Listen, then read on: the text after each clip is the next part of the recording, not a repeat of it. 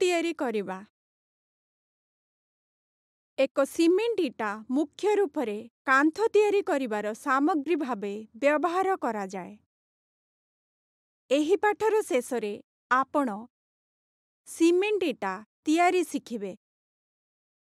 କାମ ଆରମ୍ଭ ପୂର୍ବରୁ ଆମେ ଜାଣିବା କି ପ୍ରଥମେ ଆମକୁ କେଉଁ ଯନ୍ତ୍ରପାତି ଓ ଜିନିଷ ଦରକାର। ଦରକାରୀ ଯନ୍ତ୍ରପାତି ଗୁଡ଼ିକ ହେଲା କରଣୀ, ଗଜ, ମସଲା ମିଶାଇବା କଡ଼ାଇ, ଛାଞ୍ଚ, କୋଡ଼ି। ଦରକାରୀ ଜିନିଷଗୁଡ଼ିକ ହେଲା ବାଲି, ସିମେଣ୍ଟ, ପାଣି, ଛଅ ମିଲିମିଟର ଏବଂ ବାର ମିଲିମିଟର ଖଦଡିଆ ସରୁ ଗୋଡ଼ି। ଆସନ୍ତୁ ସିମେଣ୍ଟ ଇଟା ତିଆରି ପ୍ରକ୍ରିୟା ଶିଖିବା। କ୍ରମ ଏକ ସିମେଣ୍ଟ ମିଶ୍ରଣ ତିଆରି କରିବା। ସିମେଣ୍ଟ ମସଲା ପାଇଁ ଏକ ଅନୁପାତ ଛଅ ଅନୁପାତ ଛଅ ରେ ମିଶାନ୍ତୁ। ଏହାର ଅର୍ଥ ଏକ ଭାଗ ସିମେଣ୍ଟ, ଛଅ ଭାଗ ବାଲି ଏବଂ ଛଅ ଭାଗ ଖଦଡିଆ ସରୁ ଗୋଡ଼ିକୁ ମିଶାଯିବ।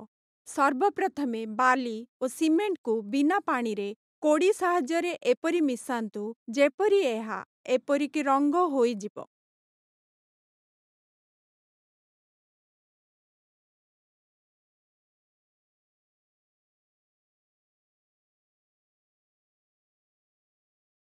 ଖଦଡିଆ ସରୁ ଗୋଡ଼ିକୁ ଏହି ମିଶ୍ରଣରେ ଏପରି ମିଶାନ୍ତୁ ତାହାକି ସମାନ ରୂପରେ ମିଶିଯିବ।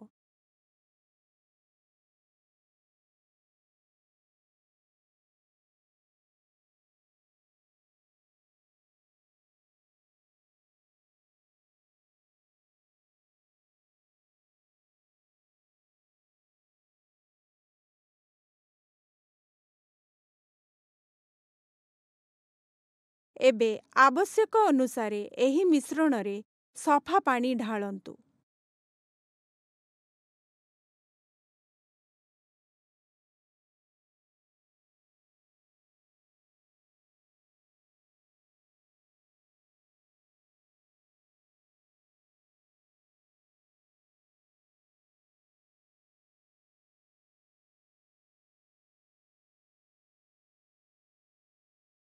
ଏହି ମିଶ୍ରଣକୁ ଦୁଇ ଘଣ୍ଟା ମଧ୍ୟରେ ବ୍ୟବହାର କରିବା ଦରକାର। କ୍ରମ ଦୁଇ ଛାଞ୍ଚରେ ସିମେଣ୍ଟ ମିଶ୍ରଣ ଢାଳିବା। ଏକ ସମାନ ସ୍ତର ଉପରେ ଛାଞ୍ଚକୁ ରଖନ୍ତୁ। ଛାଞ୍ଚରେ ଖୋଲା ସ୍ଥାନରେ କିଛି ବାଲି ବିଛାନ୍ତୁ।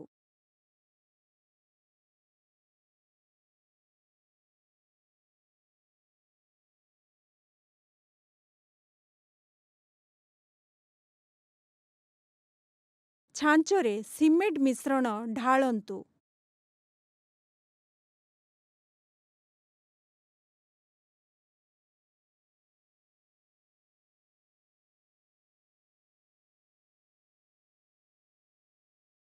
ଏକ କରଣୀ ସାହାଯ୍ୟରେ ମିଶ୍ରଣକୁ ଠୋସ୍ କରି ଭରନ୍ତୁ।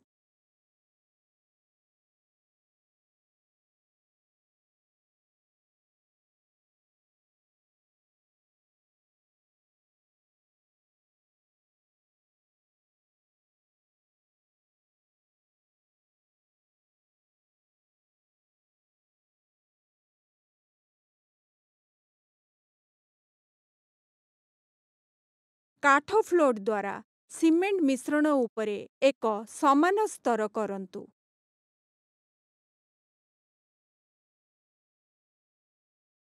ଏହି ପ୍ରକ୍ରିୟାକୁ ଛାଞ୍ଚର ଦ୍ୱିତୀୟ ପାଖରେ କରନ୍ତୁ।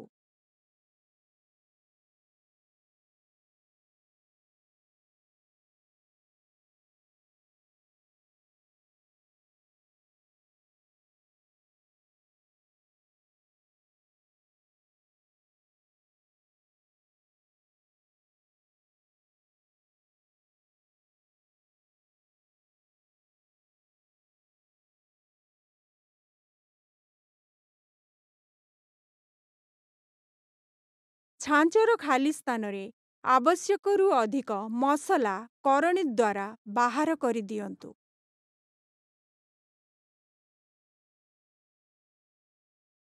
କ୍ରମ ତିନି ସିମେଣ୍ଟ ଇଟାର ସଂଶୋଧନ। ସିମେଣ୍ଟ ମିଶ୍ରଣକୁ କିଛି ସମୟ ପାଇଁ ଛାଞ୍ଚରେ ରଖାଯିବା ଉଚିତ।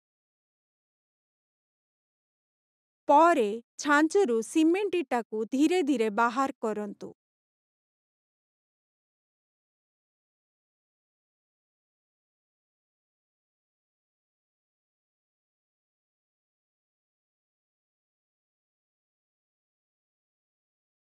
ଇଟାକୁ ଓଦା କରି ସଂଶୋଧନ ପାଇଁ ଛାଡ଼ି ଦିଅନ୍ତୁ।